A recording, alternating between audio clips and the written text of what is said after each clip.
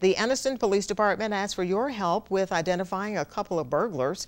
Video posted to the department's Facebook page shows two people taking chainsaws and leaf blowers from a store in Anniston.